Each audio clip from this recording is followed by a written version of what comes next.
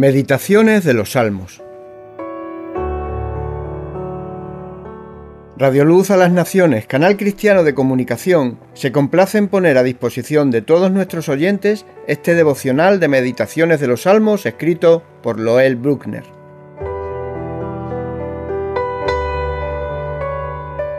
El libro de los Salmos fue el himnario de los hebreos y su manual de oración. Son escrituras sagradas, escritas por hombres de Dios bajo la autoría del Espíritu Santo.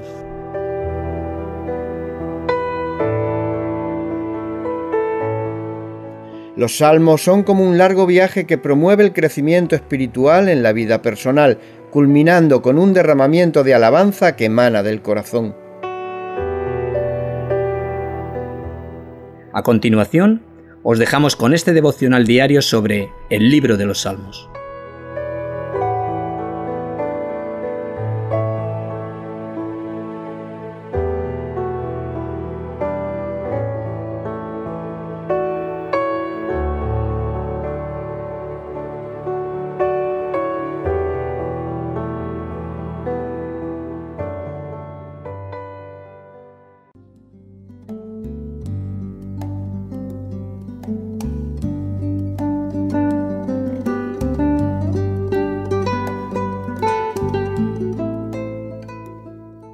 Las siguientes meditaciones son hechas por el autor Loel Bruckner, de su libro Meditaciones Diarias de los Salmos. Te rogamos prestes atención.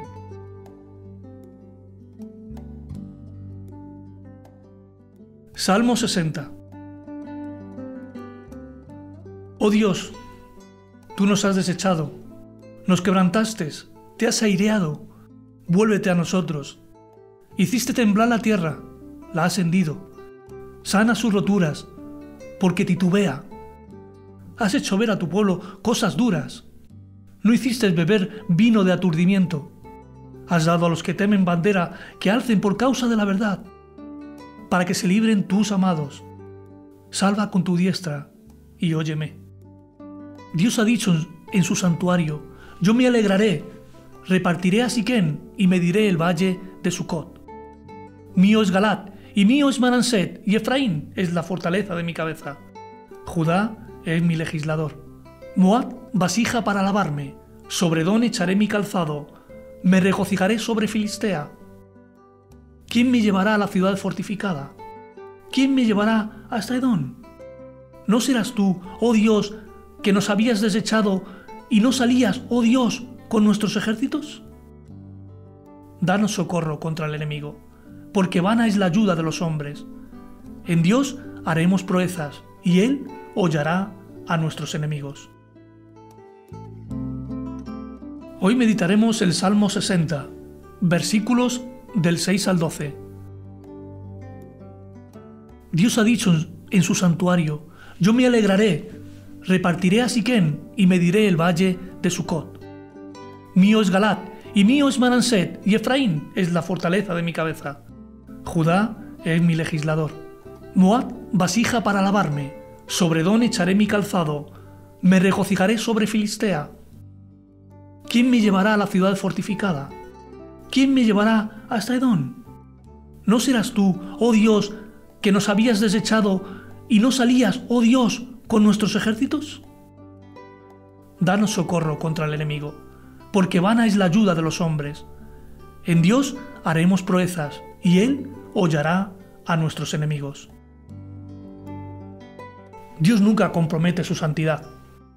Si su pueblo vuelve a la inmundicia, lo desechará. En los días de David, Dios pudo hablar a su gente en el santuario. Andaban conforme a sus caminos y Él se regocijó otra vez en ellos. Pudo continuar desarrollando su plan, obrando y manifestando su poder entre ellos. Unió a todas las tribus a sí mismo y dio bendiciones a cada una de ellas. Sujetó a sus enemigos y les hizo siervos de los israelitas. Qué cosa tremenda es cuando Dios sonríe a su gente. Tenemos que volvernos al Dios de la santidad, quien ha rehusado salir a la batalla con nuestros ejércitos rebeldes. Versículo 10. Nuestros propios esfuerzos son vanos, como también lo es la ayuda de otros. Los seres humanos no ofrecen un sustituto o un programa adecuado. ¿Quién podrá guiarnos hasta la victoria? ¿Podrá hacerlo la motivación humana, los programas de crecimiento de las iglesias o los esfuerzos unidos de la hermandad? Úsalo si quieres, mi amigo, pero no te servirán de apoyo en contra de la ciudad fortificada que Dios quiere que venzas. Solo en Dios haremos proezas y Él hollará a nuestros enemigos.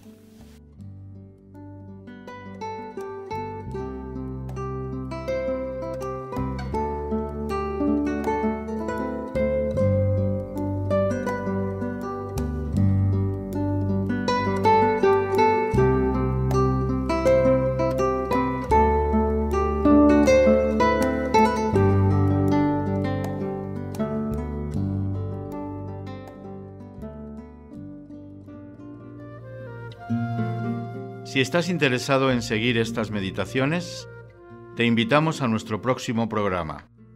También, si quieres, te podemos hacer llegar el libro Meditaciones Diarias de los Salmos. Llámanos a cualquiera de nuestros teléfonos de Radio Luz a las Naciones.